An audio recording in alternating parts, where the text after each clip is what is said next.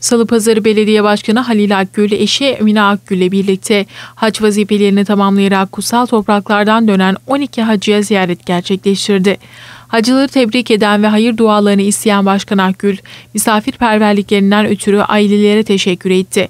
Hacılara hayırlı olsun temennisinde bulunan Akgül, geçtiğimiz günlerde kutsal topraklarda acı olaylar yaşadık. Çok sayıda hacı adayı vefat etti. Hac görevini yerine getirirken hayatını kaybeden Müslüman kardeşlerimize Allah'tan rahmet dilerim dedi.